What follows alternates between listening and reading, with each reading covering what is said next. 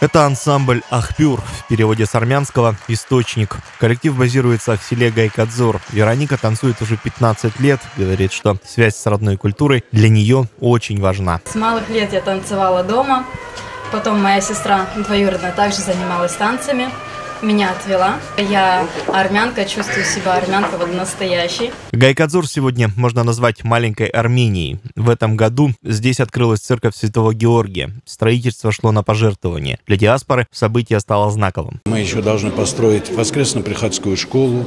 Ну, э, посмотрим, может быть, если Господь даст, то сделаем и приют для бездомных тоже. Это уже впоследствии.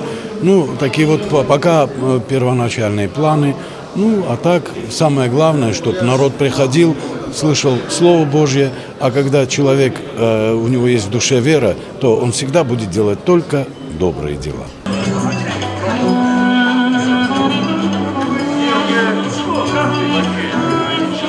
Сегодня в Анапе живут более 15 тысяч армян, в том числе потомки тех, кто сто лет назад бежал, спасая свою жизнь. В 80-е сюда переезжали те, кто лишился крова после одного из самых разрушительных в истории землетрясений. Армянскому центру национальной культуры в этом году исполняется 25 лет. Сегодня, работая со своими соотечественниками, работая с другими общинами, нам при поддержке администрации города, при поддержке администрации Союза армян России нам удается удерживать позиции, которые определяет руководство страны, руководство нашего региона. Это, конечно, те добрые слова, дружба народов и единство. Мы сегодня так дружны, что нельзя говорить, что мы различные.